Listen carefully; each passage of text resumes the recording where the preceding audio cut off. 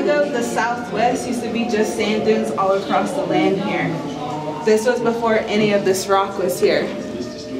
Okay. So when it would rain, the sand dunes would just absorb up all the water. So the sand dunes would just absorb up all the water when it was raining.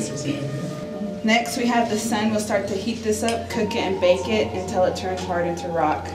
Okay, when the wind blows, it blows away the sand. Wind erosion, this is how most of our buttes and mesas are formed, places like Monument Valley.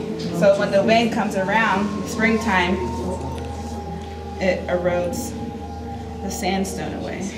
Hmm, okay, so this is our Mason Butte.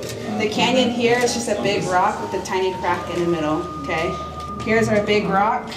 There must have been an earthquake a long time ago which caused the crack, and that's the start of the canyon. When it would rain, mm-hmm. this the water would just go into the cracks, carve it out, and slowly make the canyon bigger and bigger, deeper and deeper. Water erosion. and it slowly just cuts out the canyon. Mm-hmm. And right there, we got canyon, Slot Canyon. Wow.